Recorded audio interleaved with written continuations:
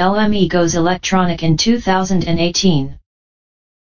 DB1 chairman, Joachim Faber, is being pressured to resign by two large shareholders, as insider trading investigations continues, according to the Financial Times.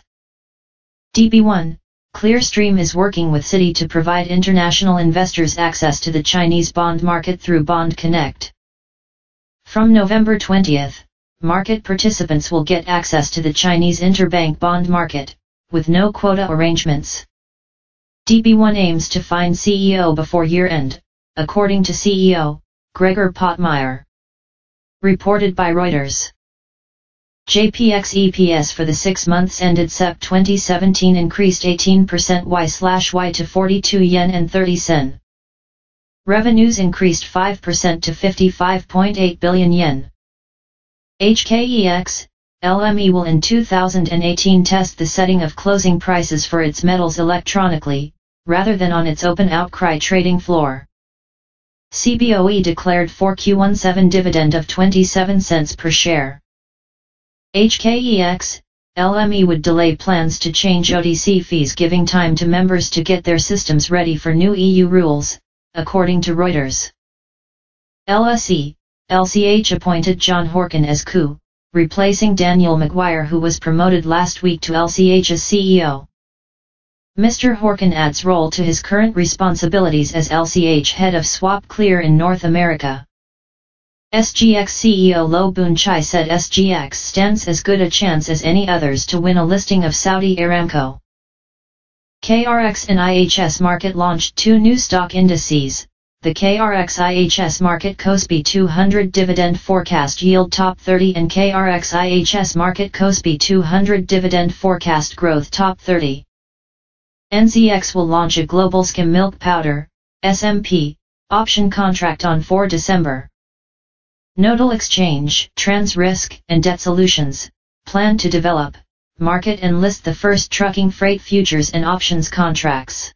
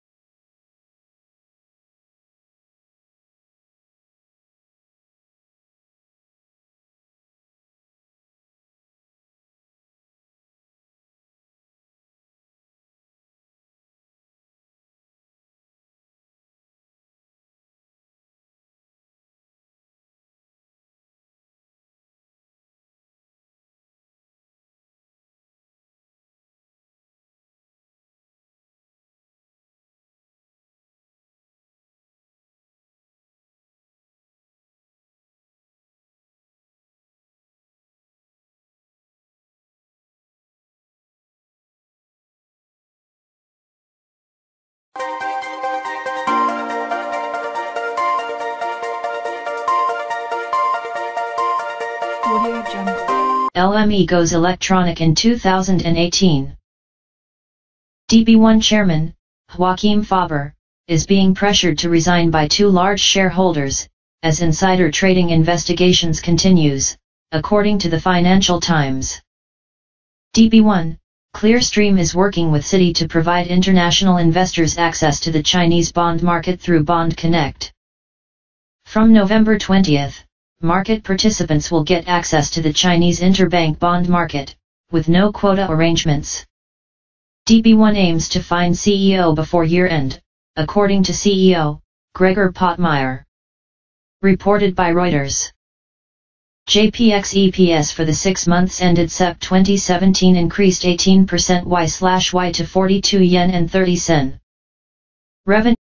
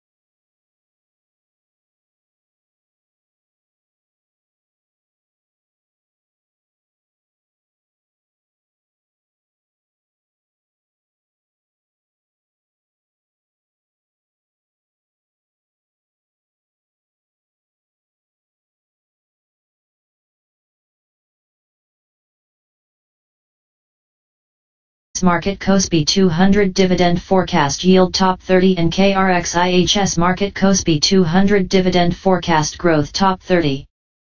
NZX will launch a global skim milk powder, SMP, option contract on 4 December. Nodal Exchange, Trans Risk and DAT Solutions, plan to develop, market and list the first trucking freight futures and options contracts.